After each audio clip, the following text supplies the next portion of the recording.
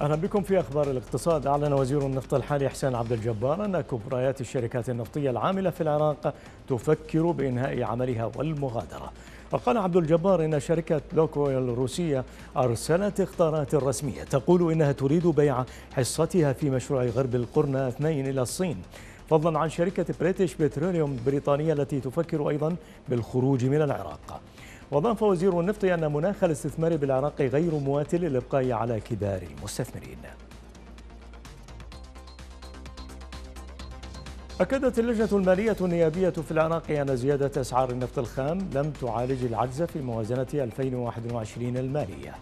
وقال رئيس اللجنة هيثم الجبوري أنه حتى الآن ووفق الأسعار الجديدة للنفط لم يسدد العجز المالي في الموازنة على الرغم من وصول سعر برميل النفط إلى 75 دولارا.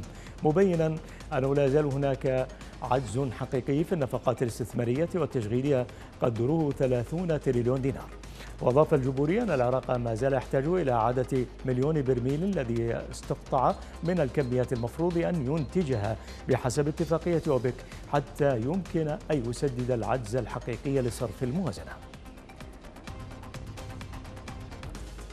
ازدادت مبيعات الدولار في مزاد البنك المركزي العراقي لبيع العملة الأجنبية لتسجل 208 ملايين دولار.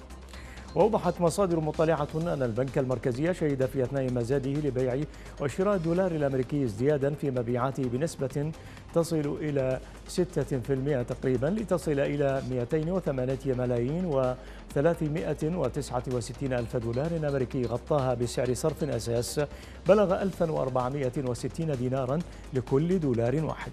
وقد ذهبت المشتريات البالغة 173 مليونا و243 ألفا و369 دولارا لتعزيز الأرصدة في الخارج على شكل حوالات واعتمادات مصرفية. في حين ذهب المبلغ المتبقي البالغ 35 مليونا و730 دولارا بشكل نقدي. قالت نائبة وزير السياحة والأثار في مصر غادة شلبي إن إيرادات قطاع السياحة بلغت نحو أربعة مليارات دولار في النصف الأول من العام الحالي. في حين بلغ عدد السائحين الذين استقبلتهم البلاد نحو ثلاثة ملايين ونصف مليون سائح. وتوقعت شلبي زيادة عدد السائحين في المدة المقبلة بين 45 و 60% مقارنة بالعام الماضي بمتوسط إنفاق للسائح في الليلة الواحدة يبلغ نحو 95 دولارا. هذا وأغلقت مصر الفنادق في شهر أذار عام 2020 بسبب تفشي فيروس كورونا قبل أن تعيد افتتاحها بعد نحو شهرين بنحو 25% من السعة الاستيعابية. أعلنت مصادر في منظمة أوبك بلاس أن المنظمة ستستأنف محادثاتها بشأن السياسة النفطية يوم الاثنين بعد انتهاء اجتماعاتها من دون التوصل إلى اتفاق بسبب مطالبة الإمارات بتعديل خط الأساس لحصتها مع من خفض الإنتاج.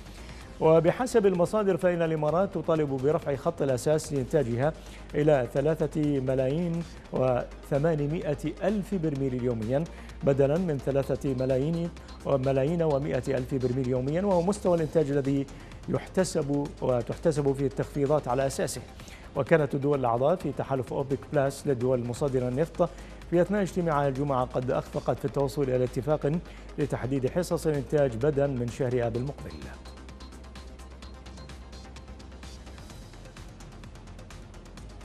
نهاية أخبار الاقتصاد إلى اللقاء.